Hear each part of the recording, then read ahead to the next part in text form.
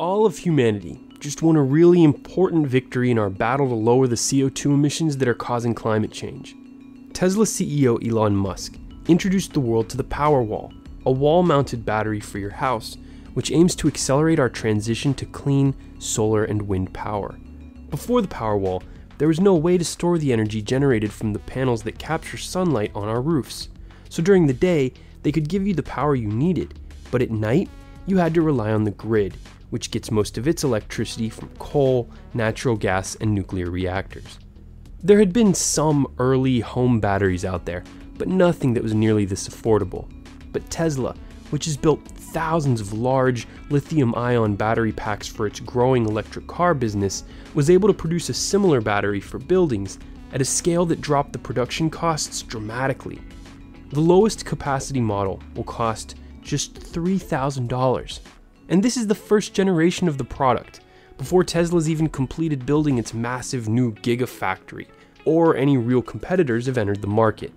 Events that will surely push the price down even further while increasing the energy storage capacity of the Powerwall.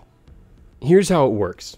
When the sun is out, solar panels will power your house and charge the Powerwall at the same time.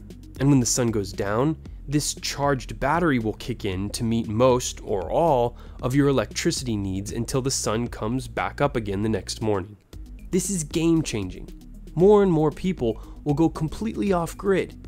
Every building, whether it's a home, office, business, warehouse, factory, they can all install solar panels and some Powerwalls and instantly see their fossil fuel generated electricity needs drop significantly. Not every building will be able to go completely solar powered, but most will get pretty close, especially as our appliances and other electronics become more and more energy efficient. And it gets even better. The Powerwall will be connected to the internet and the rest of the energy grid. Here in Southern California, and most other heavily populated places around the country, the energy company charges us a lot more when we use electricity during peak time. That's in the afternoon and early evening when the temperatures are warmest and most of us are home and still awake.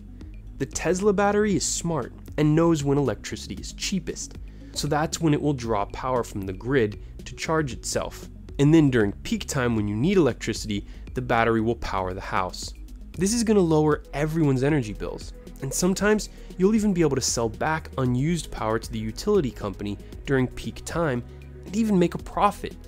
It's basically going to make each individual building its own power station. Overnight, Tesla seems less like a futuristic car company and more like the man who inspired the company's name, a revolutionary electricity engineer named Nikola. Thanks for watching.